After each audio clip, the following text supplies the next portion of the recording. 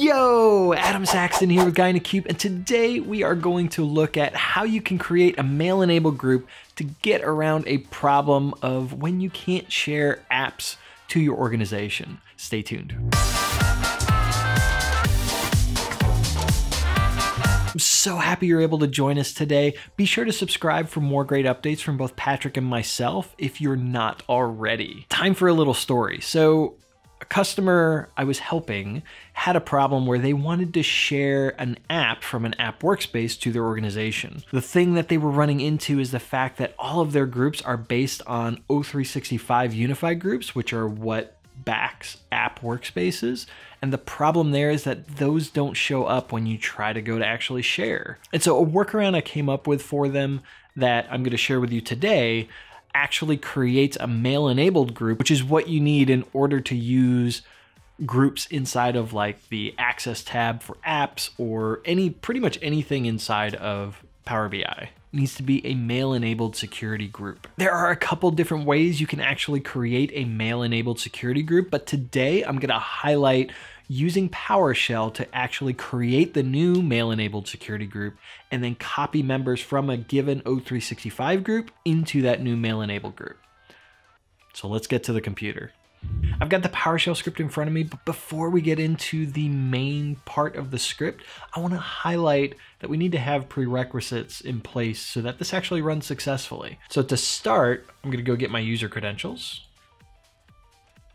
Let's go run the selected. Hit OK. Comes back, good. Then we're going to go ahead and log into Azure AD. I expect this to fail.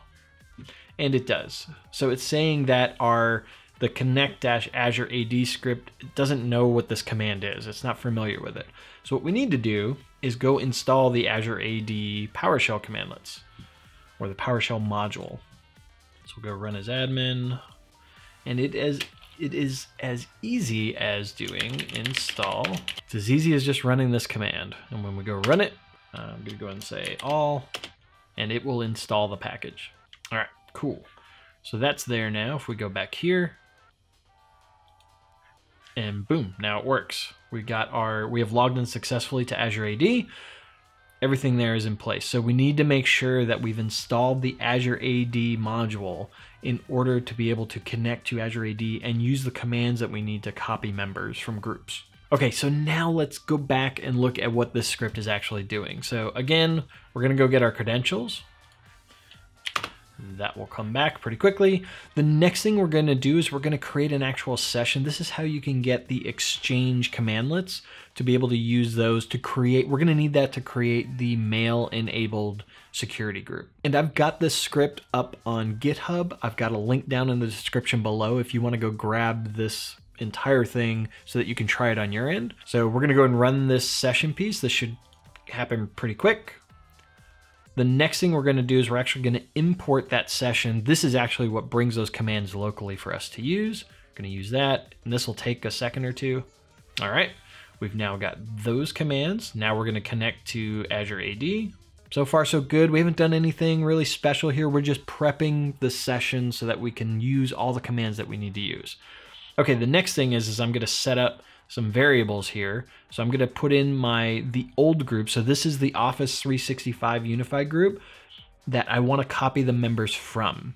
So all you need to do is just supply the name of that Office 365 Unified group. In my case, it's sales group. And then I want to give the name of the new group that we're going to create. And so I'll just call it my group just for demonstration purposes. We'll go ahead and run this. All right, nothing special there. So now what we're gonna do is create a new distribution group. The new distribution group is part of the Exchange commandlet. So you need to have a license with Exchange Online in order to run this command. So E3, E5, something of that nature. We're gonna pass in the new name. Type is going to be security because we wanna make this a security, a mail-enabled security group. I'm also supplying some additional parameters. You don't necessarily need to do this, but I did just for cleanliness sake. I am specifying who's managing the group, so you can specify whoever you want. And then I'm also specifying the primary SMTP address for this group. All right, so at this point, we will go create our new distribution group.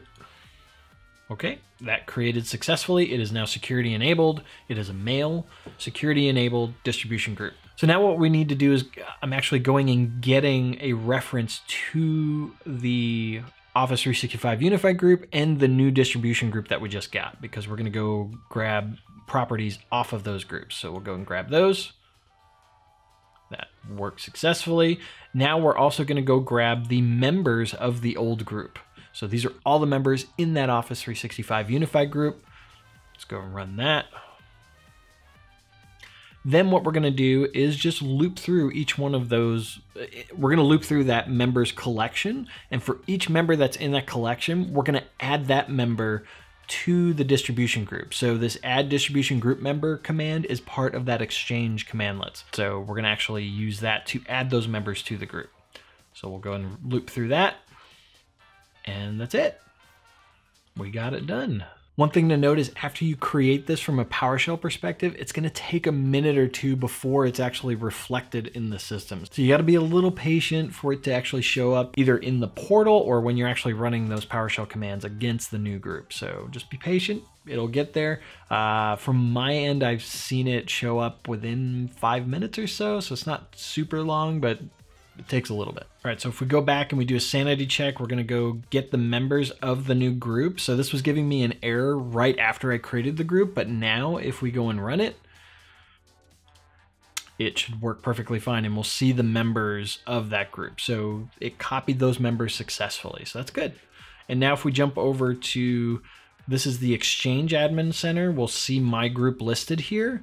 And if we go and edit that group, We'll also see information about the group and we'll see who are the members of that group along with the owner, which is what I specified. So this was created successfully inside of Exchange.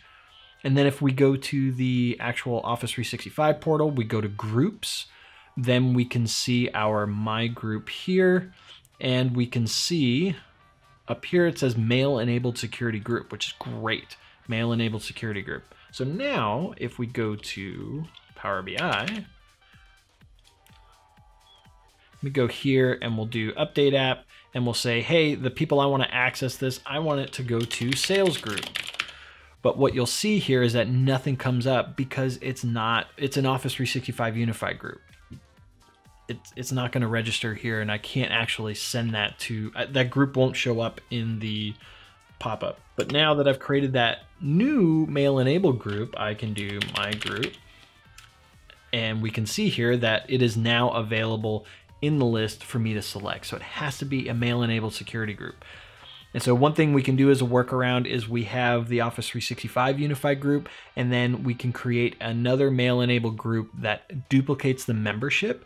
That's great for a first time create it, but managing that managing that going forward, you're gonna have to remember that two groups exist. You're gonna have to create that member inside of the Office 365 Unified group, and then either script differences in the back end occasionally every once in a while, maybe once a day, and get those added to that mail enabled security group as well to make sure that they're in sync. All right, let me know down in the comments what you think. Do you have another way that you're handling this problem? I'd love to hear it. Go ahead and leave that down in the comments below and let me know. Like I said, there's more than one way to handle this scenario, and I'd love to know what your thoughts are on this topic. If you like this video, be sure to give it a big thumbs up, smash it if you so desire. If you're new here, hit that subscribe button for more great content from both Patrick and myself. And as always, thank you so much for watching keep being awesome, and we'll see you in the next video. I am so happy. Ooh. Mm.